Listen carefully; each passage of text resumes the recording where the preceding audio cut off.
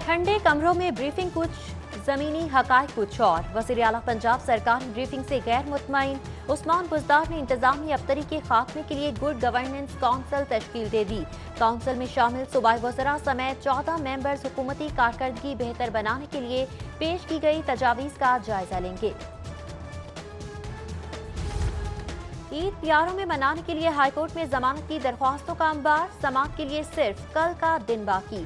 Chief justice ने पाँच जजेस जमानत के केसेस की सुनवाई के लिए मुकर कर दिए। रश के बायस हाईकोर्ट में समाजी फासले की पाबंदी नजरअंदाज। और ईद उल अजहा में तीन रोज बाकी, सगियाँ मंडी में तेज़ी। खरीदारों का रश बढ़ने से व्यापारियों ने भी डिमांड बढ़ा दी। कीमतें सुनकर शहरियों के औसान खता होने लगे।